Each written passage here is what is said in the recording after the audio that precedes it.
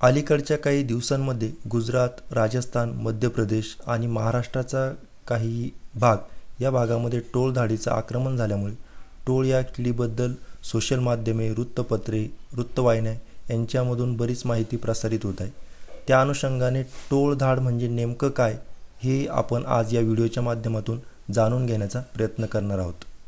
टोळ हा कीटक आपल्याला काही नवीन नाही आपल्याकडं आढळणारा नागतोडा किंवा काही भागात त्याला घोड्या म्हणतात कारण त्याचं तोंड घोड्यासारखं लांबट असतं किंवा देवघोडासुद्धा असं म्हणत असतात.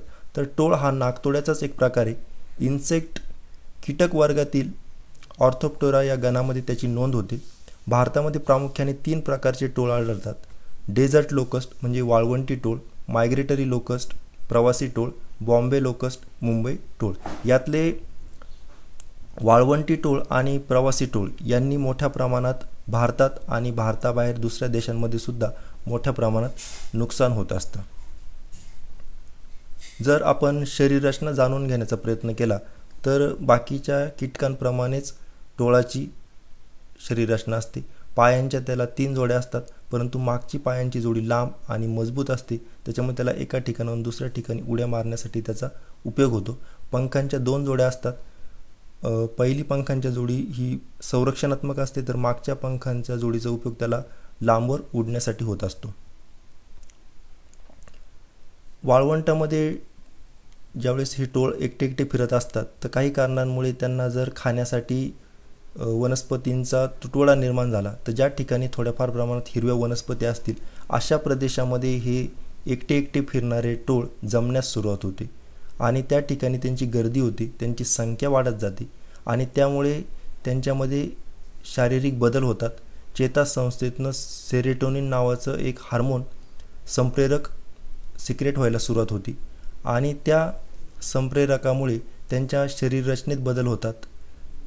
अंडे देण्याची क्षमता वाढते.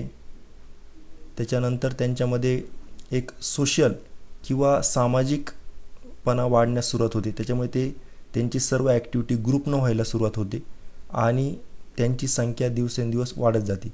त्याच्याच बरोबरीने त्या भागामध्ये जर पाऊस पडला नवीन वनस्पती वाढायला लागल्या तर लगेच ते त्या नवीन वनस्पतींवर खाण्यास सुरुवात करतात आणि अंडे देण्याची प्रक्रिया चालू होते. आणि अशा पद्धतीने टोळधाडीची संख्या दिवसेंदिवस वाढत जाते.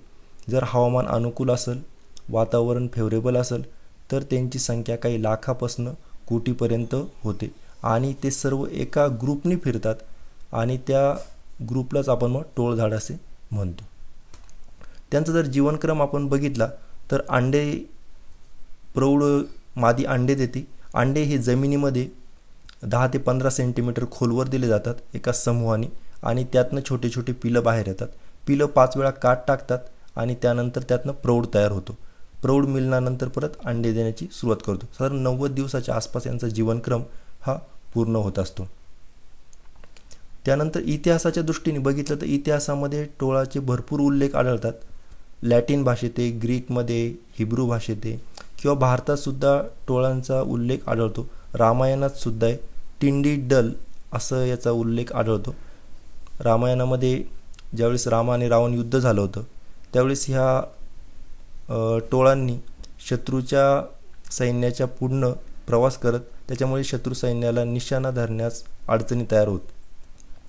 त्याच पद्धतीने अनेक देशांमध्ये दुष्काळसुद्धा इतिहासामध्ये या टोळधाडीमुळे पडलेला आढळून येतो. पाणी पाऊस सर्व व्यवस्थित होतं पिकं आलेली होती परंतु टोळधाडीचं आक्रमण झालं या टोळांनी सर्व वनस्पती खाऊन टाकल्या आणि त्यामुळे जनावरांना चारा उपलब्ध नाही माणसांना अन्नधान्याचा तुटवडा निर्माण झाला. अशा पद्धतीने इतिहासामध्ये भरपूर मोठ्या प्रमाणात नुकसान या टोळधाडीने केलेलं आढळून येतं. त्यानंतर ही एक आंतरराष्ट्रीय किडी जगामध्ये साठपेक्षा अधिक देशांमध्ये या किडीमुळे मोठ्या प्रमाणात नुकसान होत असतं. त्यामध्ये आफ्रिकन कंट्रीज अरब राष्ट्र भारत पाकिस्तान यामध्ये काही वर्षाच्या अंतराने चार पाच सात आठ वर्षाच्या अशा अंतराने कुठे ना कुठे या किडीचा उद्रेक होतो.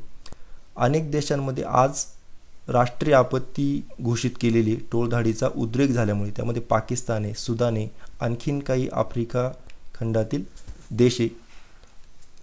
तर राष्ट्रीय आपत्ती जाहीर होणं याच्यातच ह्या टोळधाडीमुळे किती मोठ्या प्रमाणात नुकसान होऊ शकतं याचा एक आपल्याला अंदाज येतो.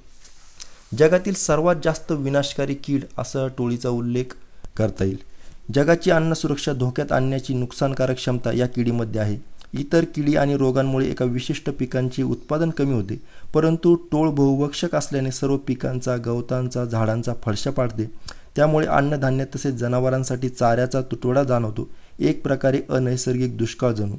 जगातील दहापैकी एक व्यक्ती टोळधाडीमुळे बाधित होत असते. टोळ प्रत्येक दिवशी त्याच्या वजना इतके अन्न भक्षण करतो. सरासरी एका टोळ ढाळीचा थवा किंवा ज्यात एक टन टोळ आहे तो दर दिवशी अडीच हजार लोकांचे अन्न खातो. ज्या भागात टोळधाडी येतात त्या प्रदेशात शेतकऱ्यांच्या पिकांचे आतवनात नुकसान होताना आढळून येतं. धन्यवाद.